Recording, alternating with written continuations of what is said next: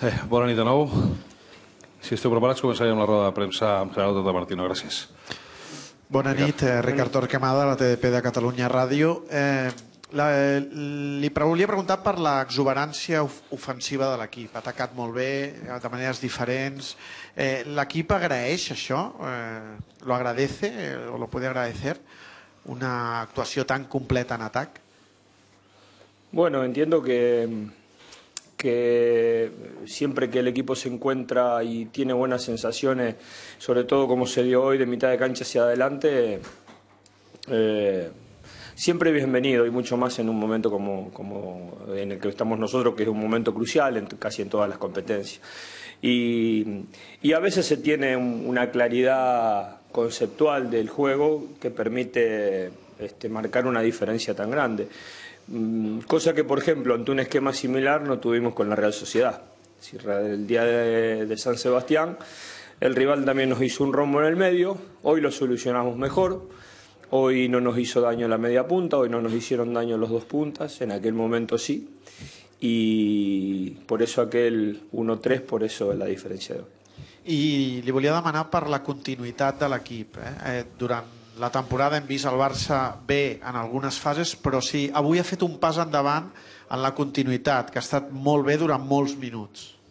Sí, igual creo que nosotros el problema de la continuidad lo tuvimos en la temporada respecto de partidos a partidos, no respecto a lo que sucedido en 90 minutos. En general hemos hecho bastantes partidos de 90 minutos completos. El de Manchester fue un partido bastante completo a lo largo de los 90 minutos, pero no tuvimos regularidad en, diferentes partidos. Y de pronto hemos pasado o hemos pagado de tener buenas producciones a, perder partidos que hoy nos hacen que la liga la, tengamos a cuatro puntos. Sí, hola, Sònia Gelmà de RAC1. Eh, tinc dues preguntes. La primera és si l'actuació de l'equip avui el fa eh, dubtar sobre com vol jugar al Bernabéu i amb qui vol jugar, eh, o, si- o si ja té la decisió presa eh, independentment d'aquest partit. Sí, no, no, no, no me genera ninguna duda porque, porque también es cierto que, y, yo siempre tengo en la mente todo lo que se dice o, lo que pensamos del equipo en diferentes circunstancias y de acuerdo al resultado. Y de este tipo de partidos, a lo mejor no con resultado tan abultado, con jugando con tres delanteros, hemos tenido la gran mayoría. Y también es cierto que algunos lo hemos perdido. Y, yo no creo que el equipo pueda jugar- tenga que jugar de una manera o de otra, o sea más eficiente de una manera que de otra. Pero sí está claro que a mí no me modifica el, el rendimiento de hoy, el resultado de hoy, mucho más el rendimiento de hoy, respecto a cómo creo que tenemos que jugar el partido de- del fin de semana que viene. I la segona, el, el partit estava resolt relativament d'hora. Eh, el per què no ha fet jugar Neymar després de venir del partit de dimecres on segurament no va estar del tot bé? No sé si ho ha plantejat perquè ha optat per Tello, no per Neymar. No, porque me parece que eh, Ney, eh, el, el- el problema de la falta de continuidad ya lo, ya lo absorbió, ya ha jugado con el Valladolid, ya ha jugado con el City. Y, mm, y me parece que el otro día hizo un desgaste muy importante, muy grande. Eh, yo tenía muy en claro de que si no había necesidad este, y el partido no presentaba oh, dificultades serias, él no iba a participar del juego. Me parecía mucho más prudente darle continuidad y que tengan mucho más minutos a Alexis y, y Pedro que, que entrar a él con el partido casi resuelto. Sí que, a veure, hi ha 11 torns de preguntes i posarem el punt i final. Gràcies. Sí que.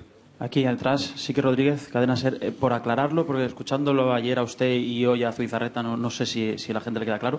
Eh, ¿Usted ha hablado eh, o, o habla con Zubizarreta del futuro del, del equipo de cara al año que viene o no?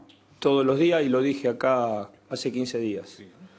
Cada vez que nos encontramos hablamos de todo lo que tenemos que hablar, mucho más de este año, mucho más de este año. Pero también es cierto que yo ayer no hablé en ningún momento de planificación. Porque planificar significa renovarle el contrato a Busquets, renovarle el contrato a Iniesta, renovarle el contrato a Tello, renovarle el contrato a Bartra. saber que hay que buscar arqueros, saber que hay que buscar un central. Todo eso es planificar y eso se planifica. Ahora, la diferencia entre planificar y no planificar desde el punto de vista de ustedes es saber o no nombres.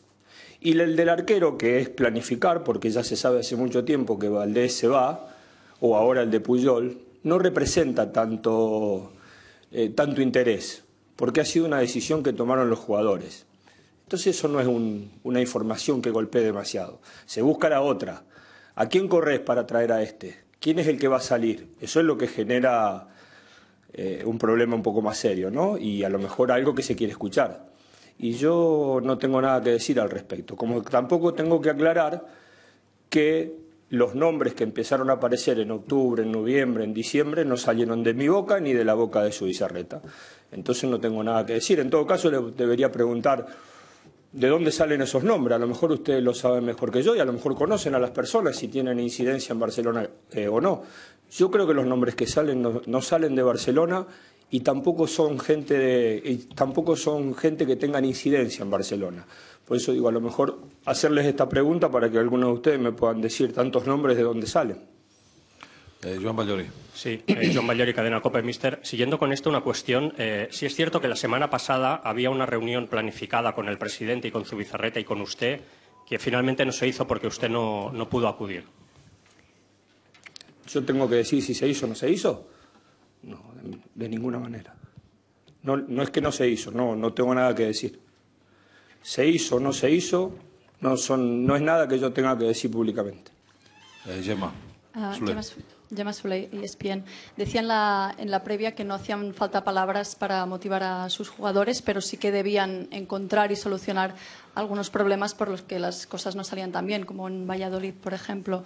Después de estos dos partidos de esta semana en que han estado muy bien prácticamente en los 90 eh, minutos, ¿nos puede decir que las han sabido detectar, encontrar y, y quizás también fijar para de cara al final, este tramo final de temporada?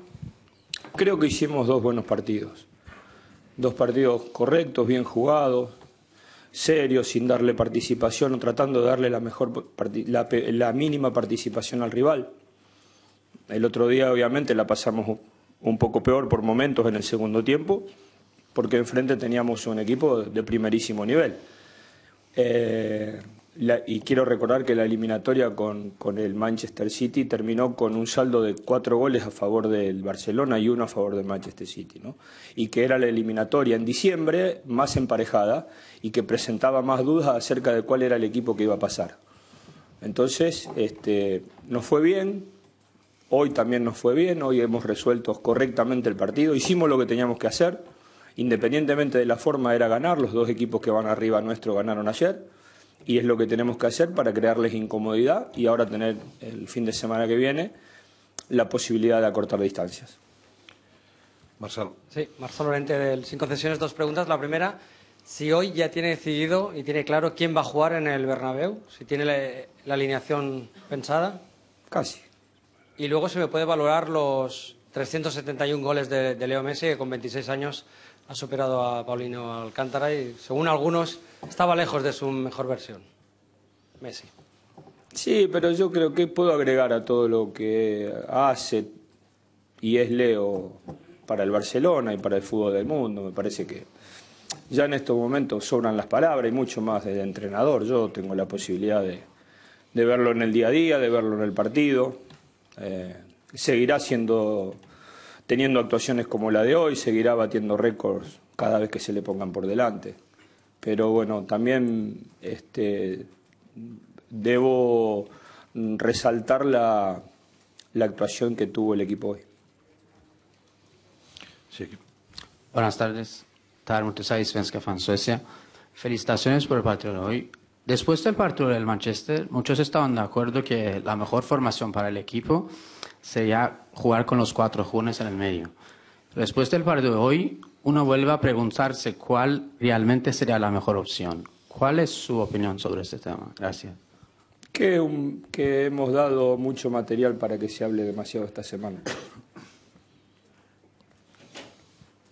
Jorge. Tata, ¿qué tal? Buenas noches. Parecía que el debate en general, que se, alejaba el Madrid, que se le complicaba la Liga al Barça, y sin embargo, Hoy están todos ahí en la pelea. ¿El Barça, tú Barça, es un equipo que hay que matarlo dos veces? Bueno, eh, en realidad nosotros estamos ahí donde estamos ahora por, por, por defectos nuestros. Para mí no es un, no es un lugar meritorio el que ocupamos hoy. Deberíamos estar en un lugar mejor. Si bien la liga la estamos peleando, deberíamos estar en un lugar mejor. Y nos encontramos en ese lugar porque nos hemos equivocado más que los otros dos equipos.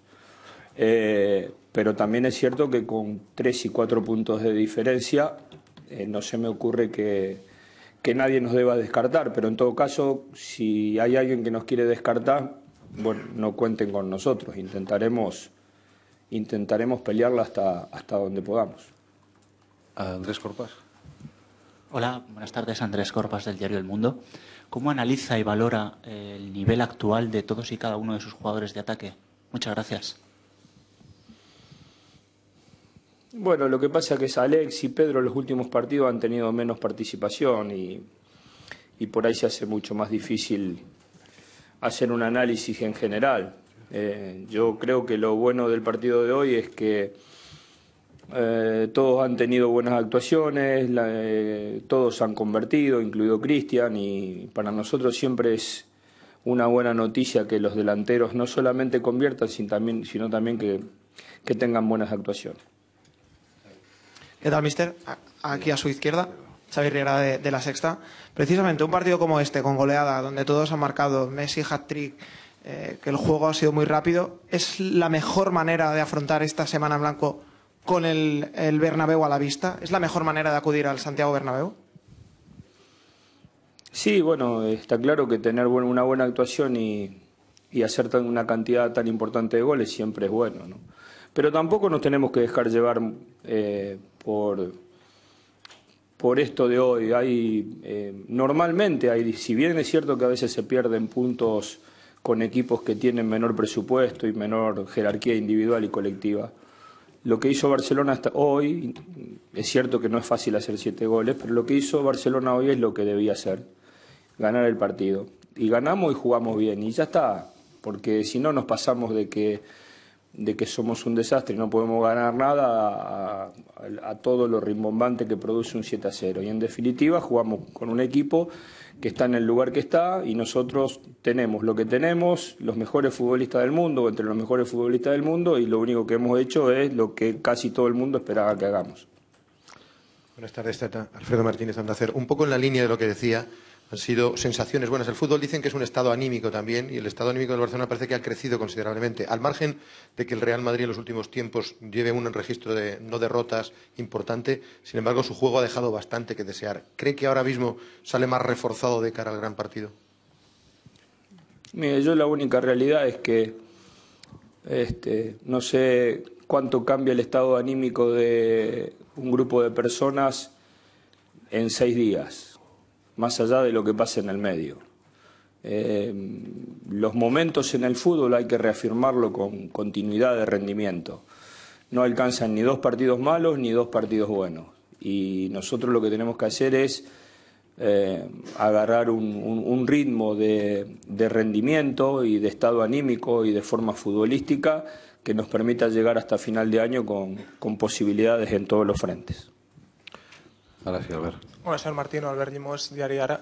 ¿Me podría valorar el, el momento, el estado de, de Andrés Iniesta y la capacidad de liderazgo que tiene en este equipo y con el partido que se ha visto hoy contra... Lo dije ayer. Te dije ayer que para mí es el futbolista que más en forma tenemos desde que empezó este año, ¿sí? desde enero para acá. Y que lamentablemente tuvo, tuvo ese problema eh, de la lesión después del partido con el Atlético de Madrid y otra cuestión personal, eh, pero, pero está teniendo un rendimiento muy alto. Fem les tres últimes preguntes. Ruth, Lu i Moisés. Gràcies. Hola, señor Martino. Le comentaba antes a Sonia que no, el partido de hoy no modificará cómo cree que tiene que jugar el Barça en el Bernabéu. En cuanto a los nombres, el, el partido, por ejemplo, de Alexis y de Pedro, ¿no le hace bailar la cabeza? Eh,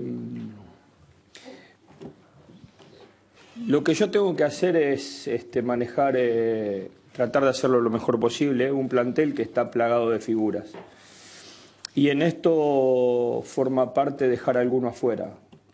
Y no me puedo guiar por el último antecedente. Tengo que gestionar un plantel que a todas luces no es fácil de gestionar. No es fácil de gestionar por los nombres que tiene y por los rendimientos que tiene. ¿eh? Es muy fácil de gestionar por la calidad de persona con, con las que me toca trabajar. Eh, y dije que lo del Madrid lo tengo casi resuelto. Eh, pero si le tengo que confesar algo, no. Generalmente el último partido no me modifica demasiado. Señor Tata, buenas tardes. Moisés del Diario AS. Eh, viendo o, mirando, echando la mirada atrás al partido de San Sebastián y de Valladolid y viendo el doble enfrentamiento con el City o el partido de esta, de esta tarde, ¿no da la sensación de que el equipo cuando quiere puede y cuando puede vuela? No, yo particularmente creo que el equipo siempre quiere, que a veces no se encuentra como su mejor fútbol cuando como pasó en Valladolid, que a veces se encuentra con una mala decisión, una mala lectura del entrenador como pasó en San Sebastián. Este, pero siempre intentamos. No hay ningún momento en que nosotros dejemos de intentar. la última, Lu. Hola, buenas tardes, señor. No me voy a cortar nada. No, no, por Dios, faltaría más. faltaría más. Eh, bueno, no se corte en la respuesta. Usted llegó hace seis meses aquí y tenía una más. imagen de... Poco más. Un poco más, sí. No sé, se le está haciendo largo. Eh, eh, tenía una imagen preconcebida, seguro, de, Pedro. Pero claro, lleva trabajando con él. Quería saber en qué se ha modificado esa imagen y qué ha descubierto de él. Gracias. Yo te, eh, en, Pedro y en Alexis este, resumo un poco lo, eh, lo, que, lo que desea un entrenador de, de todo futbolista. ¿no? Y lo pongo a los dos a la par. Eh, son futbolistas que hacen, primero que tienen muchos atributos para jugar a esto, segundo que tienen mucho amor propio, tercero que ponen mucho esfuerzo. Y cuarto, que decida lo que el entrenador decida, ellos están siempre al pie del cañón. Entonces, ese tipo de futbolistas, a la hora de tomar decisiones, seguramente cuesta mucho más. Molt bé, doncs gràcies. Demà l'equip s'entrena a les 11 del matí a la ciutat esportiva, porta tancada i no hi haurà roda de premsa. Gràcies.